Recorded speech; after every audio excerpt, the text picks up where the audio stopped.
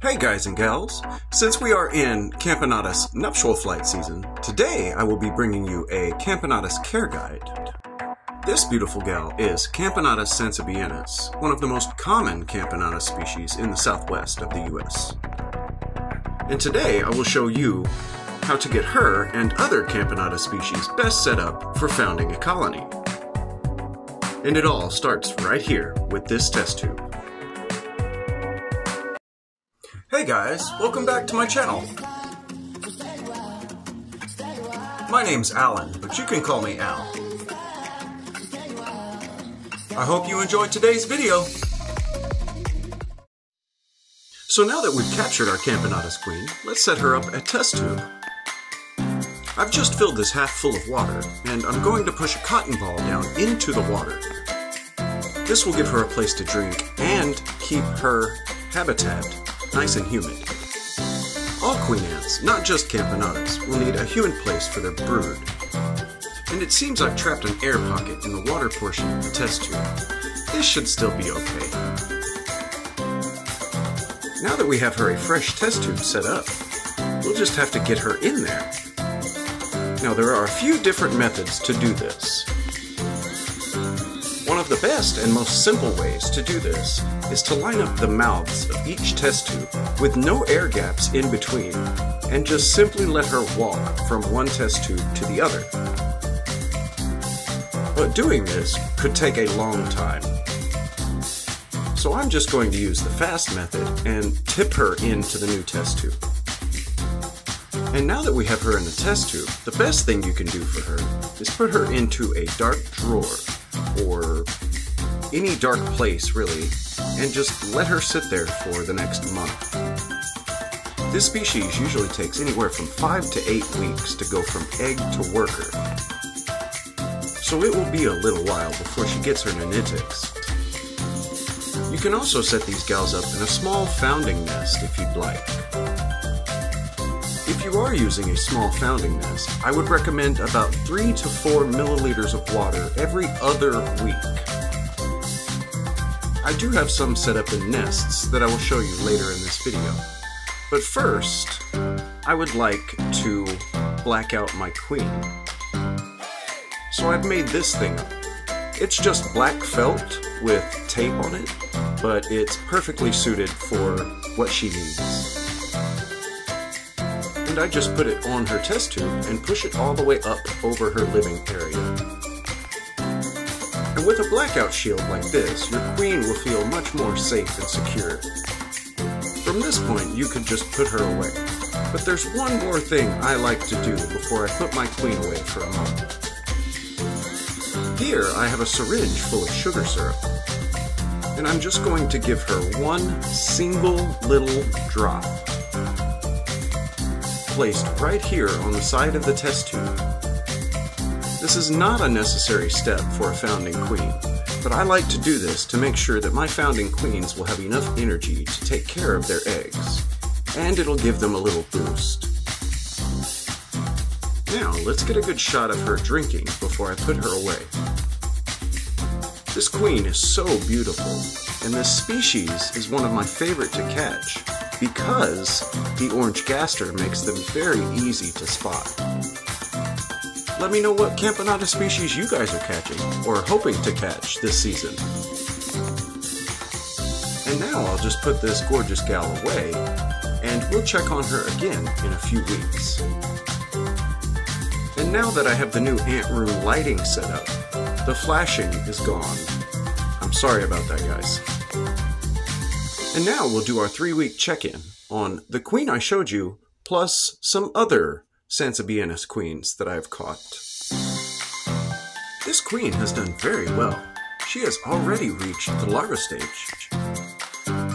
In about another two or three weeks, she should have her first nanitics. Right now, it looks as if she has about six larvae. This is what I would consider an average batch of nanitics. Not too big and not too small. Some Camponotus queens will only start with two nanitics, and other Camponotus queens could have up to 15 nanitics. The number of nanitics she gets usually will depend on her subspecies and how comfortable she is in her habitat. Anywhere from 5 to 10 is usually pretty normal for Sansabeanus.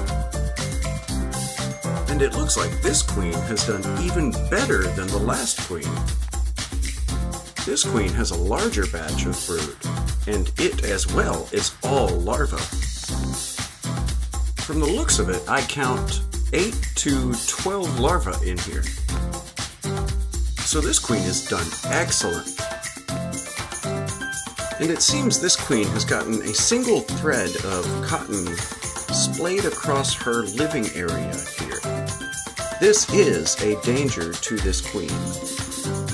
This single thread could get caught around her pedicle, which is the thin area between her thorax and her gaster. If she does get wrapped in this thread and enough tension is placed on it, it could rip her right in half. So I will definitely have to do something about this situation. This is where a pair of thin tweezers become your best friend. Now let's put her away and get a look at my Sansabeanus queens in nests. I did make a lot of these plaster nests, guys, so you'll probably be seeing them for a little while. This queen as well is looking excellent.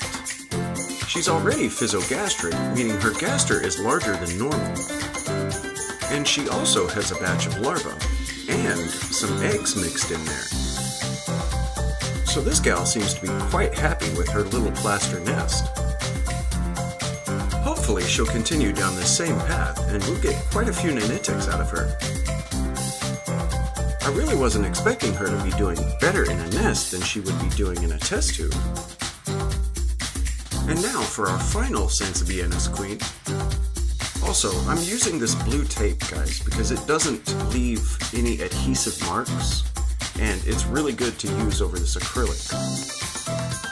These nests have been placed on my dark black shelf, so they don't get a whole lot of light in the first place, making it sufficient enough darkness for me to cover them with just this thin tape.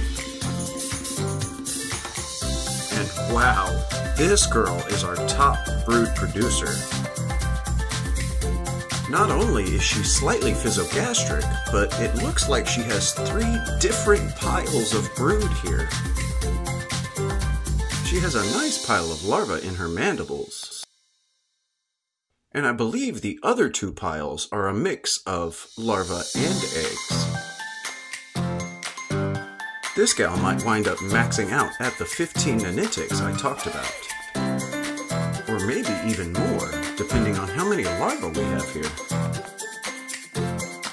I think this gal might have to be our channel focus for Camponotus sansabeanus. She looks like she's already ready to start an epic colony. I guess we'll just have to see how she does over the next few months.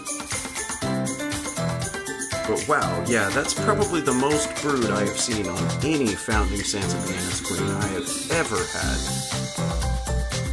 I'll just go ahead and get her put back into the dark and keep her nice and comfortable. And I have one more thing for you guys before we end this video. These two are some other Camponotus that I caught. I absolutely hounded the large Camponotus texanus nest I found in that stump. And because of it, we have two Camponotus texanus queens. These gals are a larger species than Sansabeanus, so they don't usually start with as much brood. This gal has four or five larvae inside of her test tube so she's doing good even by the smaller Sansabeanus standards. And hopefully in the next few weeks, she will also have workers. And now for the other Texanus queen. And this is about the average brood pile for Camponotus texanus. They usually only develop anywhere from 2 to 6 nanitics. So she's right on track. I hope you enjoyed the guide on Camponotus sansabeanus, and Thank you all so much for watching.